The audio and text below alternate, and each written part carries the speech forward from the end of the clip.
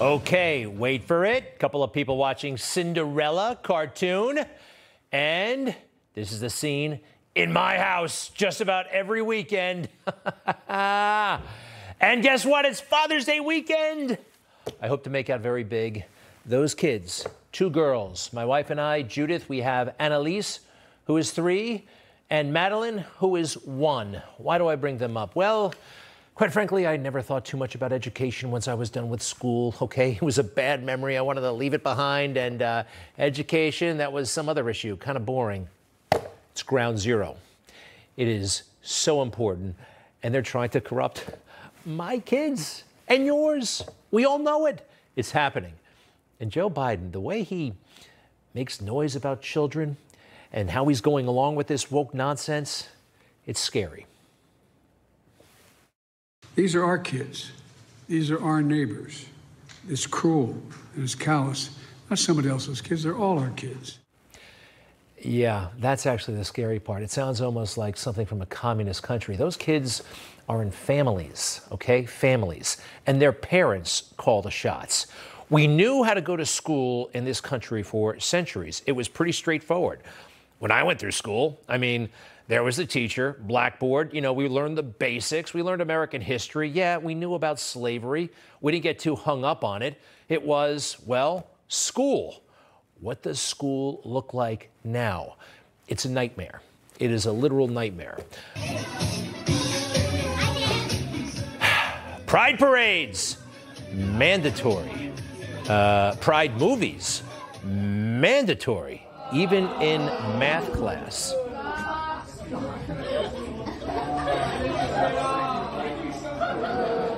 Here comes the lesbian kiss. Why are you showing this to kids? In math class. We have this nonsense, and then we are still living with the ramifications of two years of essentially no school, empty classrooms, total crisis situation. And what are they teaching? Our founding fathers racists. No, not men divinely inspired, and we were so lucky to have them where they were, when they were. Horrible racists. And that Constitution of ours, thoroughly racist. Critical race theory, that's what it's all about. And the National Archives actually puts a warning. There is a warning for our historic documents at the National Archives. Statement on potentially harmful language. It could be triggering. NARA's records span the history of the United States. Okay, some of the materials presented here may reflect outdated, biased, offensive, and possibly violent views and opinions. All right, they're not just talking about pictures of uh, whatever, they're talking about the Constitution of the United States. Critical race theorists believe that all of this stuff is inherently racist. It is crazy, and now it's mandatory. And parents, families, you don't have a choice, according to Democrats. Terry McAuliffe, he may have lost that governor's race, but he's still one of the most important Democrats in the country and also one of the most richest. Take a look at this.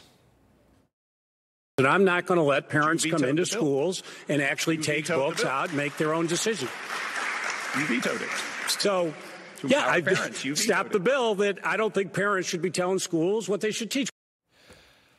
Wow. One more time, Terry. You don't think parents should be telling schools.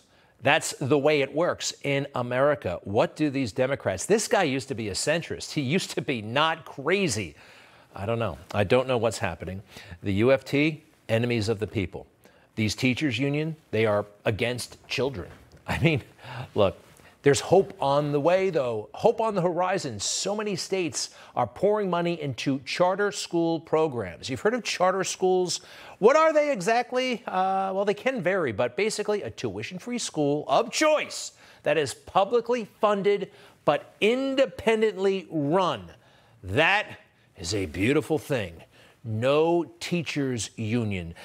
They they're not interested in kids. They are interested in job protection and doing as little work as possible. They look like regular schools, but they are almost radically different and usually much smaller class sizes. Wouldn't it be great? Hey, what does the what does the teachers union say about charter schools? They have no accountability, they have no equity, they have no transparency, and when you take a dollar out of a child's mouth for food, for books, for things like that, to give to a competitive system that actually hasn't proven itself, that's a problem. A dollar out of a child's mouth, no food for the kids if you support charter schools. This is ludicrous. Liberals do it all the time. Overstating, hysterics, pandering. And she's wrong on the substance also. Stanford Center for Research on Education Output, CREDO, they put out a new report and they looked at schools over the past 15 years. Charter schools provide their students with stronger learning when compared to traditional public schools. Excellent. Next. Most charter schools produce superior student gains despite enrolling a more challenging student population. Okay, I like this. The nationwide gains for charter students were six days in math, 16 days in reading.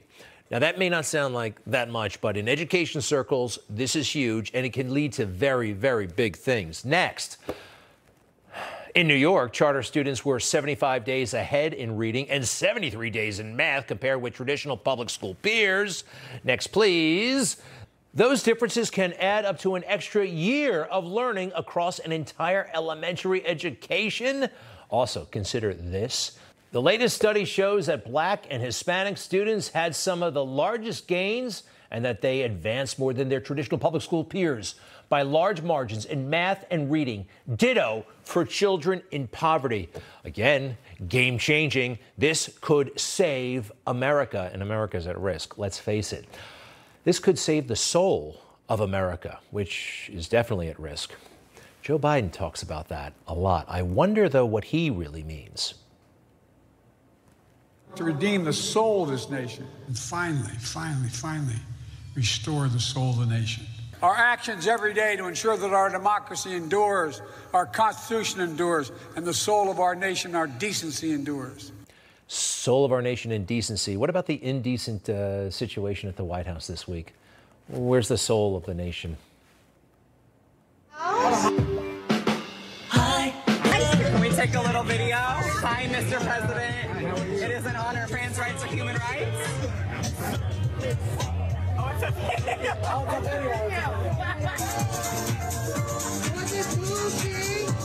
Uh, I'm sorry, but this flagrant flaunting, uh, it's fine for Instagram, but not on the White House lawn, don't you think? Why don't we have spring break at the White House while we're at it? This is insanity. It's disgusting. It's wrong. Not at the White House. And not even at Dodger Stadium. Right now, Pride Night at Dodger Stadium. You know about this, right? Uh, the Sisters of Perpetual Mercy, a sacrilegious group, will go there and perform things that are highly, highly offensive to Catholics, Christians all over. Why? Why is it being done? Uh, because Joe, I think, wants to destroy the soul of the nation. I think he wants the three following things, actually. He wants people to be dependent. Joe and the Democrats, the left, they want us dependent on the government. They want our children dependent on the government. Number two, they obviously think they want children to be depraved. Okay, I mean, how do we get around that? It's depravity.